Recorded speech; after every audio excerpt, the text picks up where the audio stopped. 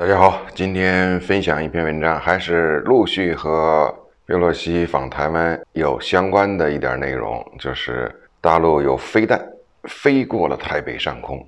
我们看看在军事演习的时候啊，有一些小的插曲。好，我们先看看新闻的标题。新闻的标题是这样讲：共军导弹飞越台北上空，没发警报，国防部深夜回应了。针对外界关注。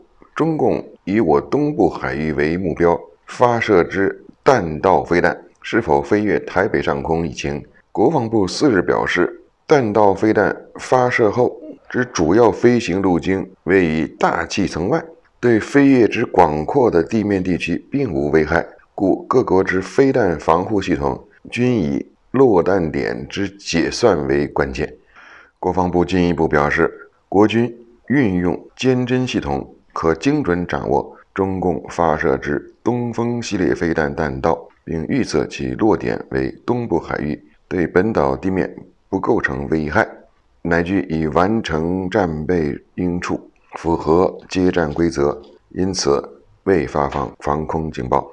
考量中共飞弹射击以威慑我方为主要目标。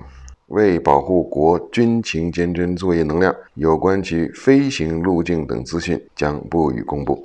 好，这个就是共军在演习的时候有飞弹打到了台湾的东部。那东部的话，这个飞弹呢，它不可能这么绕过去，一定从上边过去。上面过去的话呢，就是飞越了台北的上空了。这个时候，台湾这边没有任何的防空警报，它的。国防部的解释就是说，这颗导弹飞得比较高，在上边从我们这儿过去的，所以呢，对地面不构成威胁，这是第一点。第二个理论呢，他说他们知道共军这个导弹就是威慑一下、吓唬一下，所以呢没事。大概这个事情，这个事情呢，我也看了一些资料，我觉得有点意思。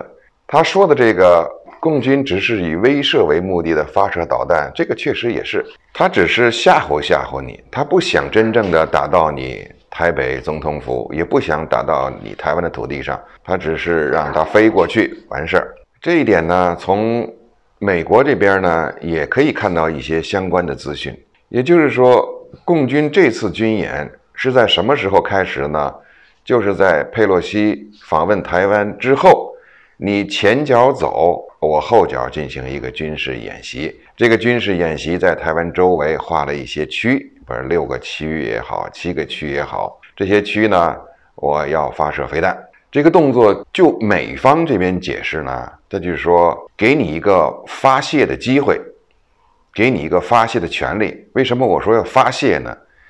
因为这个还是跟佩洛西访问台湾有直接的关系。佩洛西在四月份的时候，在之前一次。想访问台湾，结果中国外交部警告：如果你要怎么怎么样的话，你将怎么怎么样，后果严重，不堪设想啊！我们将如何如何的。然后呢，佩洛西就说：“哎呦，我阳了，不去了。”这个时候，网上啊，民间呢有很多帖子，有很多传言在说：“哎呦，美国人被吓着了。你看，共军一威胁，你胆敢来台湾？”胆敢踩我的红线，我就将怎么怎么讲，我就要报复你，咵一下缩回去了。所以这个当时这个理论呢，所有人都接受，就说佩洛西那一次阳呢可能是假的，就是不敢来了，不敢来了以后就假装我说病了，临走之前说病了。那这次呢，佩洛西呢他没有公开的说我要来，他私下放消息，但是共军也是反应非常强烈，也是。你如果胆敢来，你后果不堪设想，你将承担全部责任，你将死定了，死路一条，等等等等。话说的，甚至有一些报纸都说，我们的军机将半飞，半飞就是我跟着你一起飞。当然，还有一些言论说直接把这架飞机给打下来。当然，这个帖子呢，后来被推特让他们给下架了，就是这样的语言语呢，稍微过激了。但是这些言语呢，都是共军那边的有头有面的人物说出来的。那也就是说，国内呢，在中国大陆呢，就是一片的亢奋声，就是你佩洛西，你胆敢踩我们这个红线，我们将对你毫不客气。我们现在已经今非昔比了，我们的军事已经完全不是过去了。然后呢，佩洛西呢就不公布他的行程。这个时候，国内就非常的亢奋，就认为佩洛西这次也不敢来，甚至台湾的有一些名嘴都说了，他认为佩洛西不敢来，说一旦来的话，那共军现在的武力已经和当年六十年代、七十年代已经完全不一样了，大概这么个情绪。结果呢，现实的发展呢和他们想的刚好相反，佩洛西直接飞机降落台湾了，晚上。降落台湾以后呢，他就公开的发表消息了，告诉大家我已经降落台湾了。在这个时候，共军那边非常的安静，既没有半飞，也没有把它打下来，甚至从新闻那边完全不说话。我们主要是看新闻，新闻一句话都没说，什么没有好下场了，后果严重了，一个字儿都没有。那第二天，佩洛西又访问了总统府，访问了立法院，还到什么园区去转一转，行程满满。也都是完全公开的，就在总统府接见蔡甲博士，吃午餐。在这个过程当中呢，我们看不到中国那边有任何的舆论去谴责他，完全没有。只是呢，公布了一个我准备要军事演习的一个方案。而这个军事演习的方案从什么时候开始呢？在佩洛西走了之后开始。那也就是说，中国在佩洛西真正的来到台湾了，真正我踏了你的红线了。突然有一篇文章，我看到了，就是我们冷静处理，有这么个词，我们看到了哈。冷静处理就是说，我们不跟你冲动，我们没事，那你就踩红线吧。踩完红线以后呢，哎，我发作一下。当然，这个冷静处理呢，让国内的一些亢奋者呀崩溃，就是他们叫崩溃，简直是烦烦的不得了。怎么能这样呢？我们口号当时喊的那么响，那么硬啊，最后人家就来了，滋，我没了，没有，没事了。所以，从美国这边的报道就是说，他已经给足了佩洛西脸面了。也就是说，佩洛西这次是英雄的角色，踏到了台湾的土地上，踏破了一条红线，以英雄的身份回到美国。这个时候，美国有很多文章啊，简直是把他夸的呀，真棒，真了不起，为我们美国呢争了一口气，而且呢，为前边这个布林肯啊被杨洁篪臭训呢。哎，出了一口恶气，这是在这边我们能看到的一些新闻。所以从美方就是说，他们知道中国要在佩洛西走了之后举行一次演习，而这个演习的内容呢，其实台湾也全都知道了，完完全全知道。他们也知道这个就是演习。蔡甲博士不是已经说话了吗？演习不用管他，就是演习，就是导弹从我脑袋上飞过去，没事，我知道他不打我。他就打到那个台湾东边那海里边去，什么都知道。他们整个这个方案呢，不光台湾、北京、美国这三方都知道这次演习仅仅就是演习而已。所以，台湾的国防部就是说，导弹确实从我们顶上飞过去了，但是呢，他就是吓唬我们，威慑一下，我们不用担心。联想在当年李登辉选总统的时候呢。共军就有两颗导弹，咚打到这个台湾的这边一个，这边一个，对吧？两边有两颗导弹打过去。这个时候呢，哎，台湾内部呢适得其反，李登辉高票当选。但是从后边的文件资料我们看到呢，李登辉和北京呢有一条通话的一条专线，也就是这个专线通完话以后，已经告诉李登辉，我要打这两个东西。我打这两个东西，仅仅是就打在边上，我不会打到你土地上的。